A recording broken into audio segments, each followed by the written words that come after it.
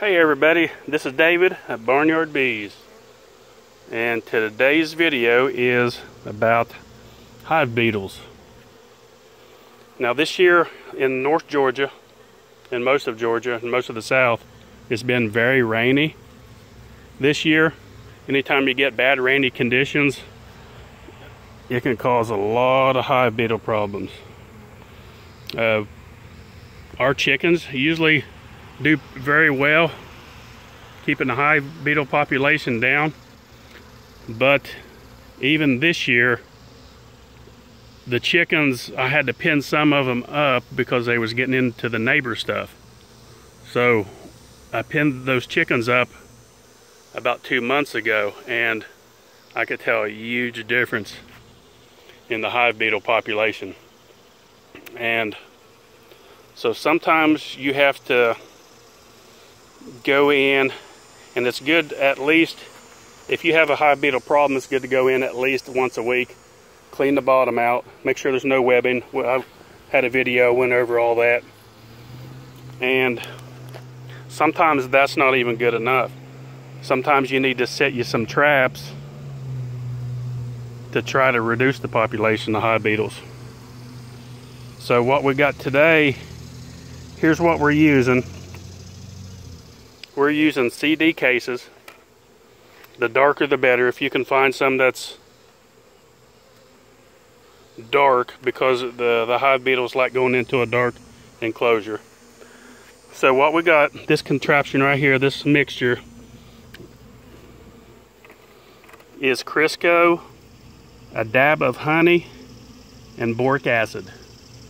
And I know some people's not going to agree with that, but sometimes especially the new beekeeper sometimes it's it's either do something like that or lose your hive because if the population gets so great those bees will leave and you'll lose your bees. So boric acid uh, people's been using it for years in the political signs and in these kind of traps and it poses no problems whatsoever.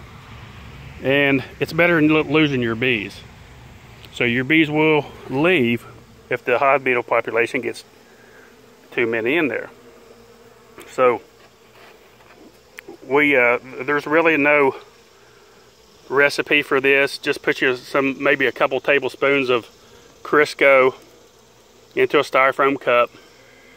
Put you about a, a teaspoon of boric acid and just maybe a teaspoon of honey and mix it together and uh, and dab that on your CD case and then what you want then is let me turn it here in the sun where you can see there's a little opening there there and on this side. It gives him three openings to get in.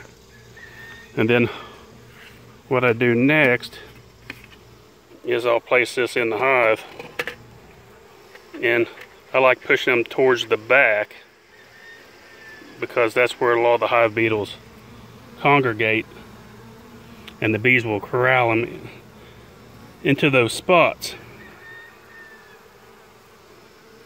So there's that. And then another thing that you can do, getting some of my hive put back together here.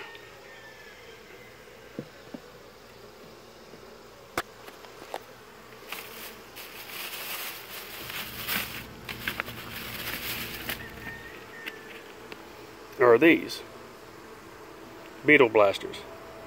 These work very well. You slide it in, and what I've done, or what I use, I use a little bit of apple cider vinegar. This is Bragg's Van, but brand, but you can use any kind of apple cider vinegar. And fill up your trap put a little bit in there and then put you a little bit of vegetable oil on top of that. It doesn't take much of the vegetable oil, you just need a just a very small layer on top to drown the hive beetles. And and that's about it.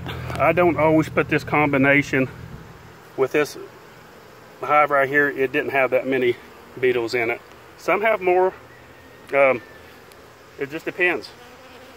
I'm a firm believer in keeping your bees in the sun if you can. Uh, I've heard people say oh, it doesn't matter, but I'm telling you, I'm speaking from experience. I've put them in shade and I've put them in direct sun and the hive beetles will will love the, the hives that are in the shade. That's just, uh, some people tell you that's not the case, but I'm telling you it's true. And the only way to really know for yourself is, is to try to experiment for yourself. Put you some in the shade and put you some in the sun and see which ones fare the best. But I can assure you the ones in the sun will fare the best. And that's about it. This one's set up, ready to go. And that'll catch the, the, the ones coming up towards the top. It'll get the ones going towards the bottom. Uh, empty those trays out every, if you don't have many beetles like it is in this one, maybe once a week, check it. But if you have a, a high population, then you'll want to check it every couple days. So I just wanted to put that little video out to help the new beekeepers out to try to get you through the, the summer and the fall. Remember, uh, we're in a dearth if you can. Keep your bees fed. Keep them going strong. And please like and subscribe to our YouTube channel. And thanks for watching Barnyard Bees.